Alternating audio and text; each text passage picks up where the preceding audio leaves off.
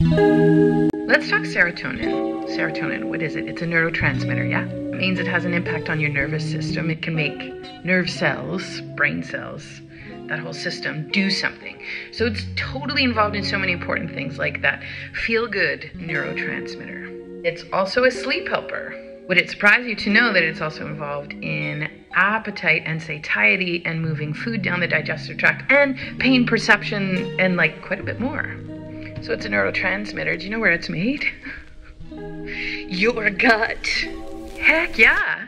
Something like 90 to 95% of your serotonin actually lives in the gut. Way more than an influence on sleep and mood. It has that role to play in satiety, cravings, motility, which is the movement of food down the digestive tract. So it's one of those telltale signs. If you've got a hard time moving stuff through your digestive tract, I wonder if you're having a hard time making serotonin. And then you can take that extrapolation outwards and see what else is struggling. Is sleep hard? Is mood tricky? Is some of the other stuff a little bit tricky? Hmm.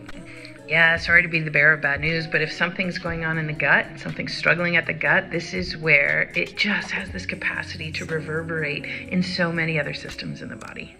Yep, I think it's safe to say your gut is your second brain. Heck, that's what we're talking about on Wednesday coming up. We're going to be doing a full two hour deep dive into serotonin, neurotransmitters, vagus nerve, this whole nervous system you have in your gut, and how much it has a sway on the nervous system and gut connection that's driving so much of what those symptoms are that we are moving through our days with. We're going to be doing some simple solutions, everyday stuff that you could do to help support this to work much better. Do you need this? Mm. Don't we all? Can't wait to see you there.